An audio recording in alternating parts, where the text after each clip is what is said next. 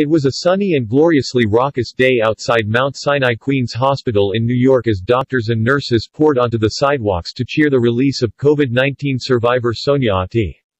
Here she comes, one staffer yelled as everyone cheered and waved balloons.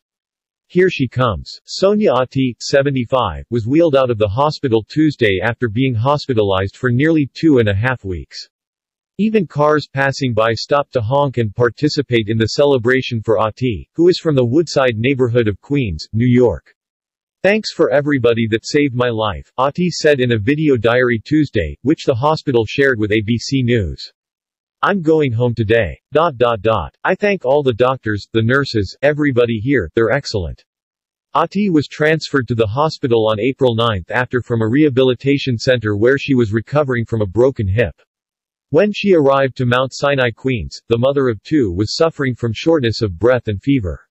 She tested positive for the coronavirus and was intubated that day in the emergency room. She could barely breathe, said Dr. Meir Cohen, an attending family medical physician at the hospital. Cohen said that Ati was placed in the intensive care unit ICU. She was on a ventilator until April 17, and she eventually left the ICU. Here she is. She's looking fantastic. She's about to go home with her daughter and continue to rehab her hip, Cohen said in the video diary. Her release from the hospital on Tuesday was made even more special because it was also the sixth birthday of her youngest granddaughter. She's lucky to be alive, Cohen said Tuesday, and we're very, very grateful that she's leaving here today.